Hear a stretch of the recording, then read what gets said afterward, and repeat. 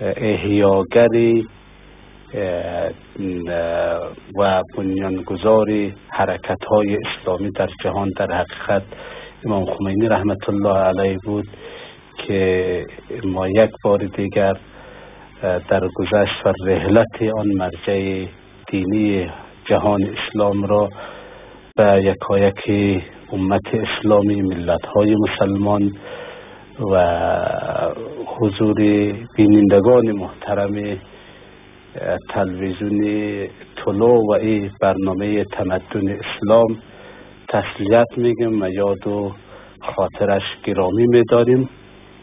امام خمینی شخصیتی است که در این فرصت کوتاه و مخصوصا من ناتوان بیم در رابطه با شخصیت مقام علمی و خدمات سیاسی و دینی امام خمینی بحث کنم و صحبت کنم زمانی دیگری را می طلبد و فرصت دیگری را ولی اونچه که من می‌خوام در این فرصت کوتاه خدمت بینندگان محترم در رابطه با شخصیت و مقامی علمی و معنوی و خدمات دینی و اجتماعی امام خمینی رحمت الله علیه بگم که ایشان از نظر علمی احاطه بر علوم مختلف داشت. همطوری که یک فقیه بود مستهید جامع شرایط بود و در جهان اسلام مقلدین زیادی داشت و همانطور در عرصه سیاسی ایشان هم از پیشگامانی بودند که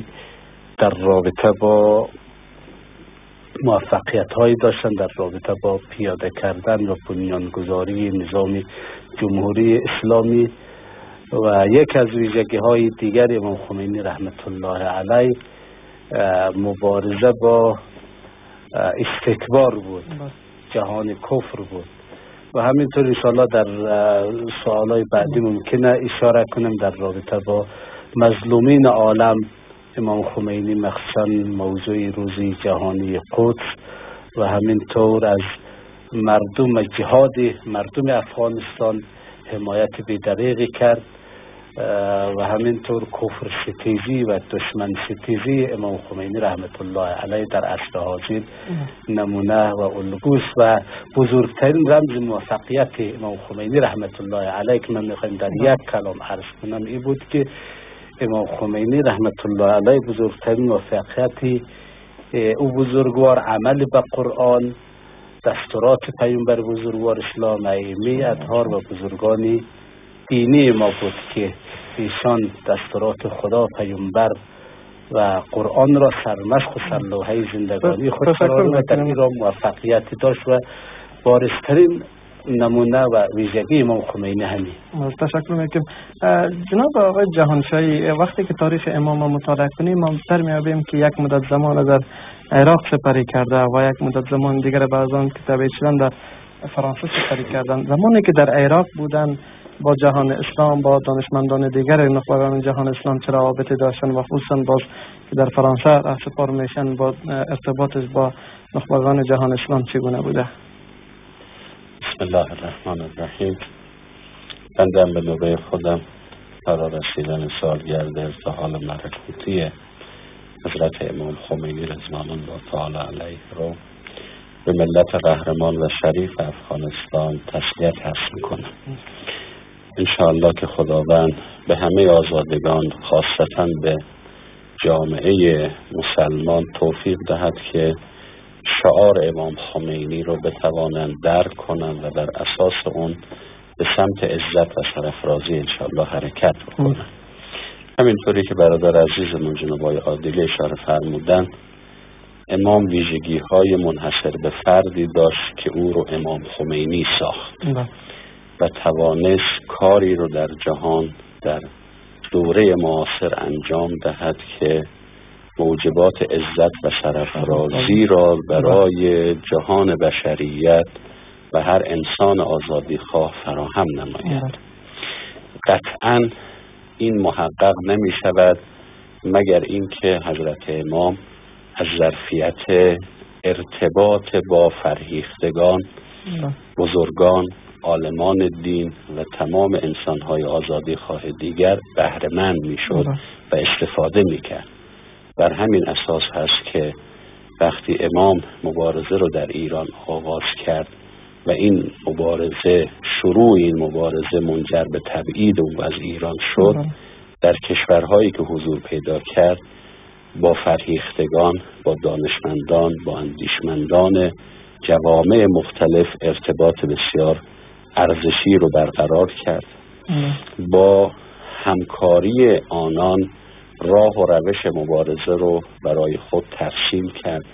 با استفاده از تجربیات مبارزاتی در جهان اسلام و حتی جهان انسانیت توانست راه مدون و مناسبی رو برای ادامه مبارزه برای پیروزی و ایجاد حکومت اسلامی در قالب جمهوری اسلامی ایران انتخاب بکنند. از این جهت قطعا امام بهترین ارتباط رو و رابطه رو با اندیشمندان جهان اسلام و اندیشمندان جهان بشریت توانست برقرار کند که اعلام موضع و بیان دیدگاه اندیشمندان معاصر در دوران خودش چه در زمان حیات امام و چه در زمان بعد از حیات امام گواه بر این مطلب هست که امام توانست یک رابطه معقول انسانی و اسلامی رو با همه جهان و بشریت برقرار کند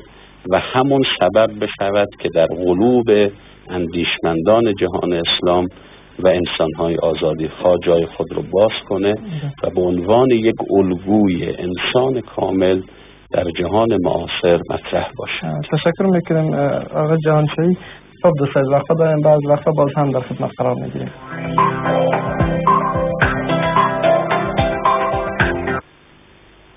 عن أبي هريرة رضي الله تعالى عنه عن النبي صلى الله عليه وسلم قال إن الله تعالى يغار وغيرة الله تعالى أن يأتي المرء ما حرم الله عليه. متفق عليه.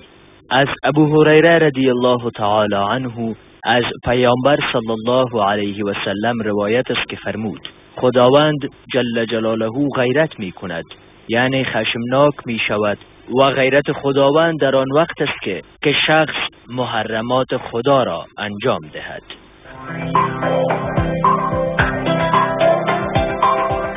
ده عزیز بازم خوش آمدید. برنامه ما ادامه دارد. جناب آقای جهانشاهی وقتی که می‌بینیم جیران بیداری اسلامی ظهور کرد و انقلاب های اسلامی در هر گوشه و اکناف جهان مسلمانان قد علم کردن در برابر استکبار. رمز موفقیت انقلاب اسلامی چی بوده؟ امام از چرا کار استفاده کرد که انقلابش پیروز آمد؟ در آسیای میانه هم می‌بینیم مبارزات صورت گرفته ولی به زودی پیروز نشدن و بالاخره آیسته آیسته بعد به قهقرا رفتن. اما رمز موفقیت امام چه هست که انقلاب بزرگ جمهوری اسلامی را به میان میارد تشکر می‌کنم. عنایت بفرمایید که امام در مبارزات خودش به چند اصل به شکل جدی معتقد بود و بله. پایبند بود و بر اساس همون حرکت خود مبارزاتی خودش رو انجام داد اولین اصل این بود که امام مبارزه خودش رو بر مدار اسلام متمرکز بله. کرد یعنی امام یقین داشت و اعتقاد داشت که اسلام می تواند نیاز بشریت را تأمین کند بله. بر همین اساس هر نوع شعاری رو که در حوزه انقلاب خودش مطرح کرد برگرفته از اصول و معارف دینی و اسلامی بود بله. خب این یک شاخصه و تکیگاه اصلی است که توانست شعار امام رو جهانی کنه بله. نکته دوم این هست که امام کاربرد مردم رو در صحنه مبارزه به شکل جدی به او اعتقاد داشت بله.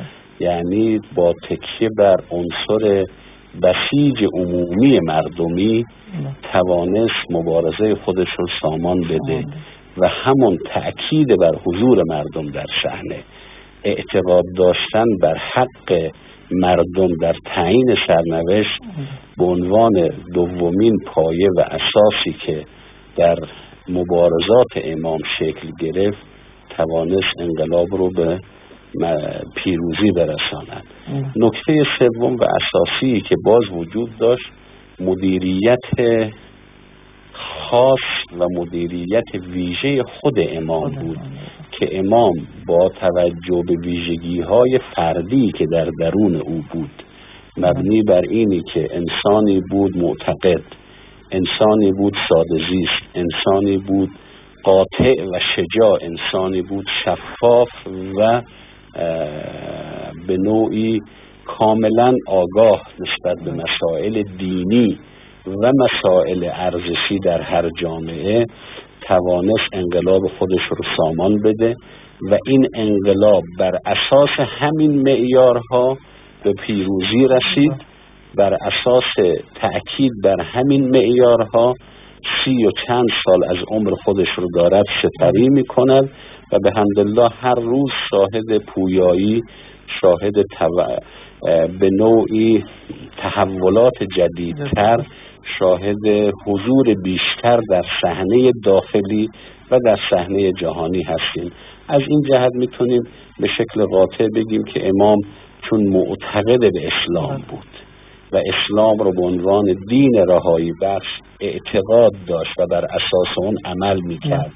و با ابزار مردم مردم رو به عنوان محور مبارزه با مدیریت خودش هدایت کرد توانست انقلاب رو به پیروزی برساند و بعض مردم و رهبری بعد از امام هم با تأکید و تکیه بر همین سه اصل تونستن انقلاب رو حفظ کنند و انشالله شاهد این خواهیم بود که این انقلاب با همین معیارها به تمام تشنگان جهان سرایت کند که حوادث اخیر جهان را هم شما شاهد هستید که برگرفته از همین اصول دارد دو به سمت پیروزی حرکت مثل که حضرت یوسف علیه السلام هم دو شاخصه را سرش ترکیز می‌کنی علیه حفیظ علیم که هم دانشمند هستم هم حافظ هستم یعنی مدیریت بسیار قوی دارم. یه شاخصه های پیروزی می باشه جناب آقای عدلی آقای جانشایی اشاره کردن با ساده زیستی امام. می‌خوایم در مورد ساده زیستی امام شما توضیح بده که امام در زندگی خانوادگی خود چه نوع رابطه با خانواده خود داشت؟ از لحاظ تاریخی که صحبت میشه بسیار یک زندگی ساده داشتن. حتی با خانواده همکاری می‌کردن در کارهای خانوادگی. می‌خوایم شما در رابطه روشنی بدین خدمتتون از شود که امام یک از ویژگی هایش واقعا همین ساده زیستی بود. بله. امام مخالف تجملگرایی بود. متاسفانه ما در شرایط خود ما چه در جهان اسلام اخصا در کشور بله. خود ما می‌بینیم رهبران و کسانی که ادعای رهبری بر جامعه بله. اسلامی داره. عدم موفقیت چیه؟ یک از مشکلاتش متاسفانه همین تجملگرایی که این آتش تجملگرایی داره از درون ملت ها را میسوزانه. و متاسفانه ای که انقلاب و نهزت های اسلامی از مسیر اصلیش هم معرف می شود یک عاملش همین تجملگرایی امام خمین رحمت الله علیه انسانی ساده زیستی بود. حالا شما ببینید من به اینا نمونه می‌خوایم عرض کنم. امام خمینی در دورانی که رهبری نظام اسلامی را داشت و در حقیقت امام خمینی یک از ویژگی هایش که امام خمینی متعلق به ملتی و یا کشور همون قسمی که ما در بله. رابطه با اوصاف علما داریم بله. علما مرز نمی‌شناسه علما محدود به یک جغرافی های خاصی نیست بله. عالم دانشمند متعلق به همه جهان اسلام است امام خمینی الله بر بقیه ویژگیش به عنوان یک عالم دینی متعلق به همه جهان اسلام است لذا امام خمینی رحمت الله علیه در دوران رهبری خود ما سراغ نداریم که حتی ما شنیده بودیم در بعضی جاها خواندیم و در بعضی جاها ما شنیدیم در رسانه ها حتی شنیدیم که از امام خمینی تقاضاهای زیادی شد که فرزندانش از بله. خانوادهش کسی بیاید در مجلس در بدنه حکومت در نظام مسئولیت بگیره. وظیفه بگیره ولی امام خمینی هرگز این کار قبول نمون موفقیت امام خمینی همی بود که امام خمینی هیچگاه راضی نشد که متاسفانه مثل بعضی از رهبرایی که ما بالاخره چی در جهان اسلام که چی در خود افغانستان داریم اولین کاری که میشه سعی می‌کنه که خانوادگی بسازه. ولی امام خمینی وسط نظر اما زندگی امام خمینی در یک خانه کلی چی در دورانی که ایشان مرجعیت داشتن و قبل از پیروزی جمهوری اسلامی در یک خانه اجاره کرایی زندگی می‌کرد امام خمینی. اما بعد از او که انقلاب اسلامی پیروز شد امام خمینی در حسینیه جماران مردم هم که به ملاقات امام خمینی می‌رفتن دیگه اون موقع امتیازی برای شخصی فرد قائل نبود. همه یکسان ملت مسلمان همه. و یک از ویژگی های امام خمینی همین مردمی بودن امام خمینی بود. امام خمینی خیلی از جمعیت می‌رفتن با عشق و علاقه صفها رو میبسن در حسینیه ایشان هم در همونجا می نشستن و با مردم ملاقات می‌کردن. و یک از موارد دیگه ای که در رابطه با ساده زیستی امام خمینی بود همی بود وقتی ایشان از دنیا رحلت می‌کند از مال و منال دنیا چیزی به جای نمی‌گذارد حتی یک فرش هم میگه مربوط به بیت المال میشه یعنی امام خمینی که رهبری جهان اسلام در عصر حاضر داشت و ملت های مسلمان از امام خمینی الگو گرفت و خیزش هایی که ما امروز در جهان اسلام می‌بینیم در حقیقت همین بیداری امت های اسلامی و ملت های مسلمان و رهبری امام خمینی رحمت الله علیه بود. همینطور اگر ما خواستر بیم در رابطه با افغانستان که اگر باز در اون مورد چه شد ما یک اشاره می‌کنم. منتها در کل علاوه بر ای که در خانهش ما می‌خوایم خلاصه ارسون در خانه خود امام خمینی رحمت الله علیه همونطوری که با خانوادهش همکاری می‌کرد مثل یک آدم عادی رفتار می‌کرد و برخورد محبت آمیزی داشت. همونطور مردمدار بود در میان مردم جایگاه خود داشت و همینطور مخالف تجملگرایی بود و کاملا میشه که بگیم یک انسان ساده که به معنای واقعی است. تشکر می‌کنیم. خب دوستان بعض وقت انشاءالله باز هم در خدمت شما قرار میدیم.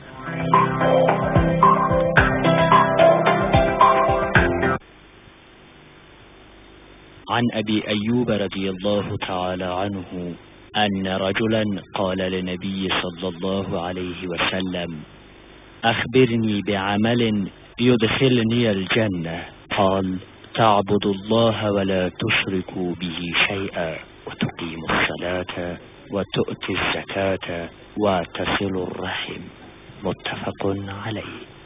از ابو ایوب رضی الله تعالی عنه روایت شده که مرد برای پیامبر صلی الله علیه و سلم گفت از عمل با خبرم ساز که به بهشتم وارد نماید. فرمود اینکه الله را پرستیده و به او شریک نیاوری نماز را گذارده زکات را داده و سله رحم را پیوسته داری.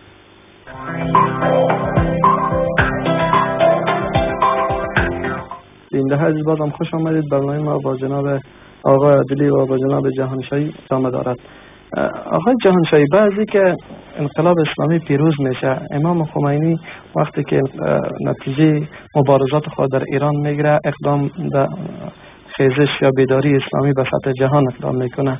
و چه کارهایی را کرد رابطه باز جهان هم از جهان اسلام و جهان غیر اسلام با مسلمانان چه رابطه را تأمین کرد که جنبش های بیداری اسلامی را چگونه تقویت کرد و و همچنان کسانی که دشمنای اسلام بودند با آنها چه برخورد کرد و با آنها چه پیام داشت؟ تشکر می‌کنم. امام از بدو شروع مبارزه. بله. اصل مبارزه خودش رو جهان شمولی قرار داد. بله. یعنی امام برای ملت ایران مبارزه نکرد. بلکه برای عزت و عظمت اسلام. و جهان اسلام مبارزه کرد اما این مبارزه از کشور جمهوری اسلامی ایران آغاز شد بله. بر همین اساس از همون ابتدا امام وقتی که در مقابل تاغوتی به نام رژیم شاهنشاهی در ایران بله. مبارزه می کرد و شعار می‌داد. از همون زمان هم مبارزه جهانی خودش رو آغاز بله. کرد. یعنی همزمان با اینکه دولت محمد رضا شاه پهلوی رو محکوم می کرد قدرت استعماری شرق و غرب رو هم محکوم می کرد قده سرطانی اسرائیل رو هم محکوم می‌کرد بله. یعنی مبارزه امام از لحظه آغاز بر مدار مبارزه با تاغوت و تاغوتیان چه در داخل ایران و چه در جهان بود بله. از همین جهت هست که از همون ابتدا امام وقتی که شروع به مبارزه می‌کنه این شعار رو در سطح جهان مطرح می‌کنه هم با رژیم صفاک پهلوی مبارزه می‌کند بله. هم با قدرت استعماری شرق و غرب که الفاظ و سخنان بسیار واضحی دارد. بله. امام رحسن و اساسا می‌گوید شرق و غرب دو گرگ هستند که در لباسهای متفاوت دارند. بله. به استعمار جهان می‌پردازند. اسرائیل قده سرطانی جهان اسلام است و باید نابود شود. امام تصریح می‌کنه از همون لحظه مبارزه آغاز مبارزه خودش که ملت های مسلمان و یا مسلمانان هر کدام یه سطل آب بردارن بریزن روی اسرائیل اسرائیل رو آب می‌برن. بر این اساس هست که امام از همون ابتدا مبارزه رو علیه تاغوت و تاغوتیان سامان داد و همین هم سبب شد که جایگاه ویژه‌ای در جهان اسلام و جهان بشریت پیدا بکنه. در مقطعی که قدرت های استعماری آمریکا و شوروی حاکمیت مطلق بر جهان داشتند یعنی نمی گفتن هر کسی می‌خواست در جهان زندگی کنه یا باید به آمریکا وابسته می بود یا با شوروی وابسته می بود اما امام آمد خط سومی رو مطرح کرد به نام اسلام و جمهوری اسلامی. امام از همون لحظه تأکید داشت بر مبارزه با رژیم شفاک اسرائیل که حق مردم محروم و مظلوم فلسطین رو غصب کرده و و باید از بین برود.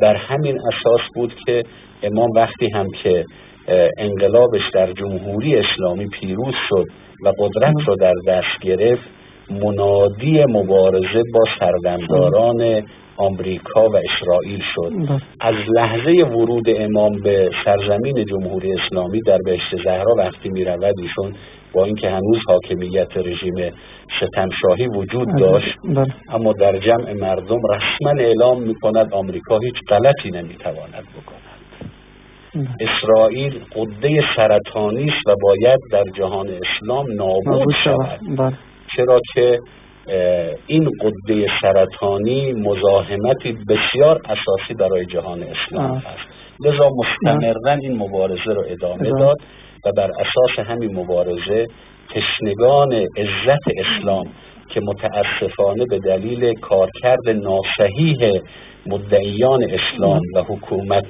مداران بعضی از کشورهای اسلامی به حداقل به نوعی عزت نزول کرده بود توانست جای خودش رو باز کنه و امروز جهان اسلام شاهد پویایی عزت و افتخار هست به عنوان یک کشور به عنوان اسلام به عنوان دین نجات بخش و گذار در جهان بشریت دایی رهبری جهان رو می‌تونه بر آقا جانشایی رابطه خیزش مسلمانان و در یمن و در بحرین و همچنان در تونس و مصر با انقلاب اسلامی چگونه ارزیابی می‌کنید من عرض کردم به شکل مختصر بله. من عرض کردم امام و انقلاب امام شعارهای پایه‌ای داشت بله. که خلاصه می شود در استقلال آزادی و عزت و سرفرازی بله.